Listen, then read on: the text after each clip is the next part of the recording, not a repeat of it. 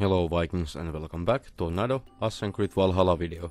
So I don't know if you have noticed, but there is something wrong with the photo mode while using the flails. And what I'm talking about, well let's see, let's see, shall we?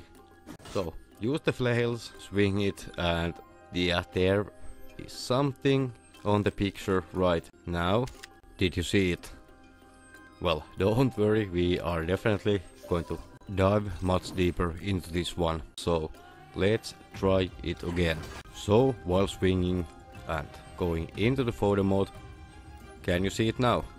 What is happening to the flail? This has been actually in the game for a very long time and what I have seen and I remember, I don't remember anybody of doing video about this and I don't even know if you have even noticed this one.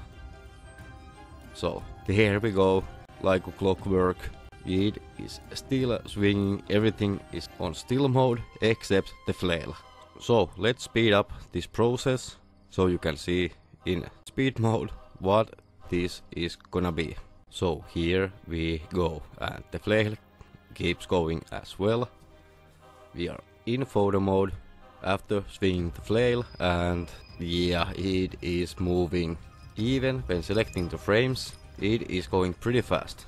So hopefully you did enjoy this video. If you did, remember to hit the like, hit the sub, turn on the notifications so you won't ever miss anything that I upload or when I go live.